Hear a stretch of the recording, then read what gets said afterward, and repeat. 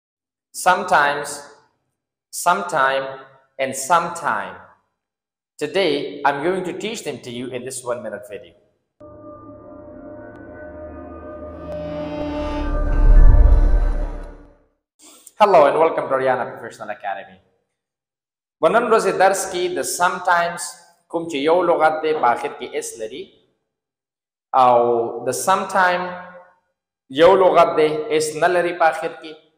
او سم ټایم دوه بیل بیل لغاتونو په حیث باندې ترمنځ فرق وایو اول لغت سم ټایمز چې یو لغت په حیث لیکل کیږي په اخر کې اس لري ایډورب فریکونسي دی معنی دا چې ځینې وخت د مثال په توګه سم ټایمز یو شوډ واچ مای ویډیوز ان اورډر ټو لرن نیو ثینګز بعضې وخت باید تاسو زما ویډیوګانې وګورئ د دې لپاره چې نوي شیان زده کړئ اف کورس او سم ټایم د اس نه غیر د یو لغت په حیث باندې It is also an adverb. دا هم یو adverb دی او معنا یې دا یو وخت پښتو کې چې موږ وایو. لکه مثال زه وایم چې we have met some time. We have met some time معنا موږ یو وخت ملاقات کړی وو.